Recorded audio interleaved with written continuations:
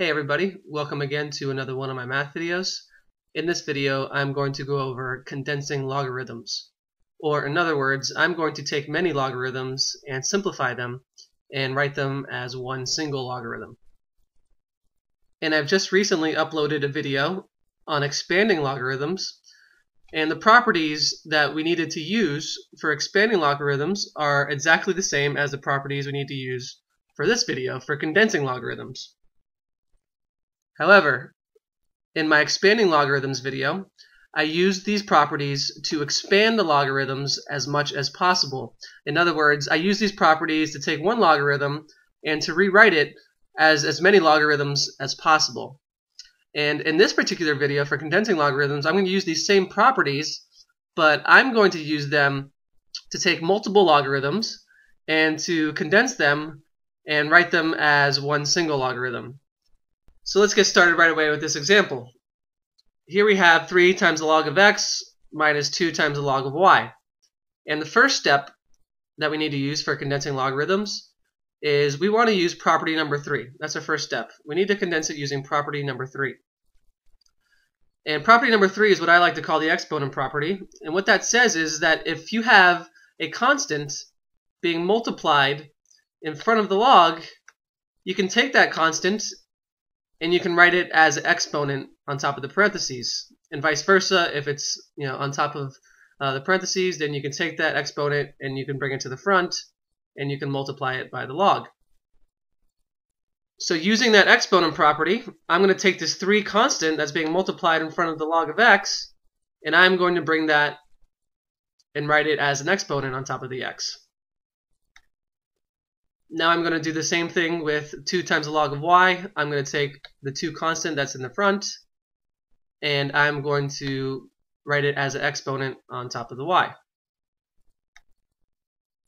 Now our next step, in order to condense these logarithms, is we need to use properties 1 and 2. So that's our next step. We need to condense these logarithms using properties 1 and 2. Now because the two logs are being subtracted by each other and there is a negative sign in the middle, that means that we have to use property number two. And property number two is, is that if you have two logs being subtracted by each other and there's a negative sign in the middle, you can write them as one single log using division.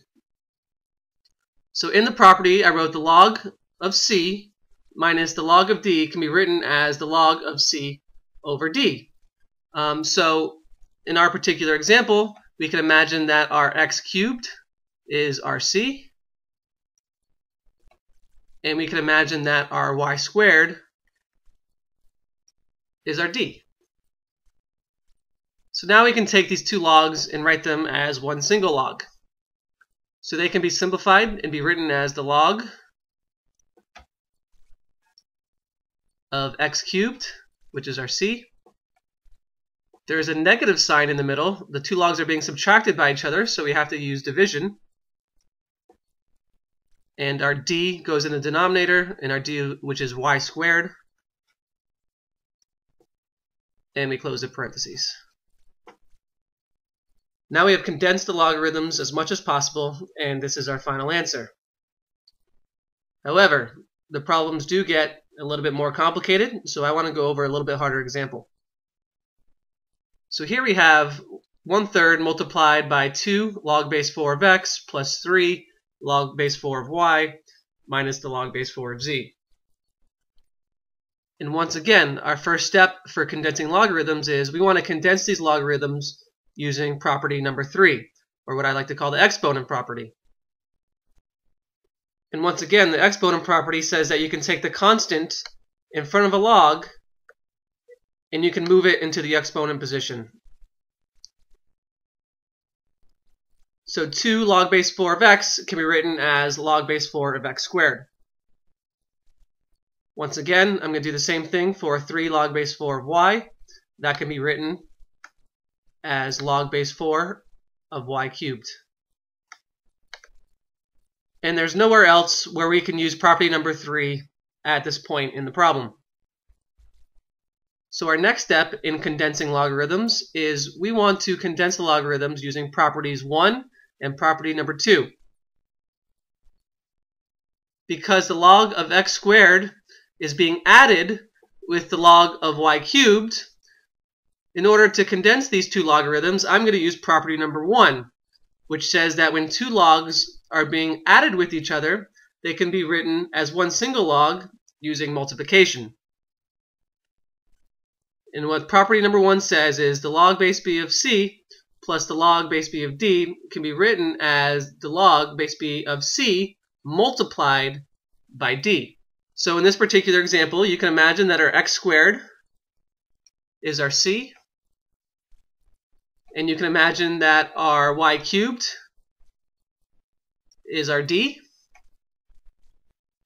And before I simplify those two logs, I'll just rewrite my one-third in my bracket. So we're going to take those two logs and we're going to rewrite them as one single log.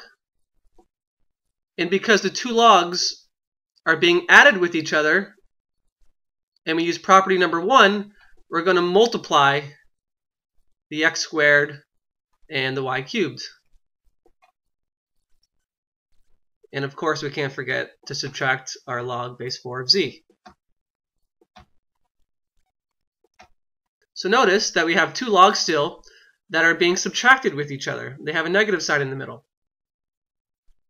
So we can still condense these logarithms using property number 2. And what property number 2 says is that when two logs are being subtracted with each other, uh, they can be written as one single log using division. Uh, so we have the log of c minus the log of d can be rewritten as the log of c divided by d. So in our particular example, you can imagine that our x squared y cubed is our c. And you can imagine that our z is our d. And since they're being subtracted with each other, we can rewrite these as one single logarithm using division.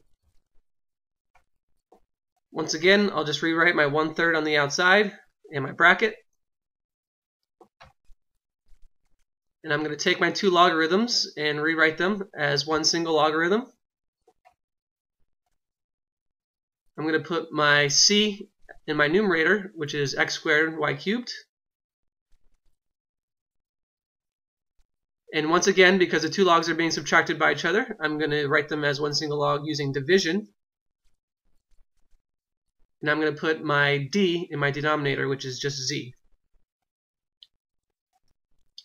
So at this point, you probably could tell that our logarithm is not completely condensed. Uh, we still have this one-third being multiplied in the front. Um, so in order to completely condense this logarithm and get rid of this one-third, we can come back to property number three and we can use our exponent property to get rid of that one-third. So once again, using property number three, I'm going to take my one-third constant that's in the front of the logarithm and I'm going to move it into the exponent position. So I'm going to simplify this even further, and we're left with the log base 4 of x squared y cubed, all divided by c. And instead of using a one-third exponent, I'm going to use a cube root, uh, because a one-third exponent is exactly the same thing as a cube root. So instead of writing x squared y cubed over z to the one-third exponent, I'm going to write x squared y cubed over z as a cube root.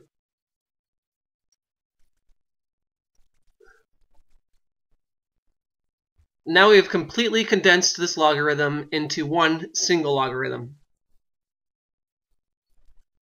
So I hope this video helped you understand condensing logarithms just a little bit better. If you need any extra help with live tutoring or homework solutions, please go to my website at mathmeeting.com. Once again, mathmeeting.com, and I would love to help you out. Also, if you like my style of teaching and you want to see some more of my videos, uh, please subscribe to my YouTube channel, uh, follow me on Twitter, or like my Facebook page. That way you can see my videos as soon as I upload them. Once again, thank you so much for watching, and take care.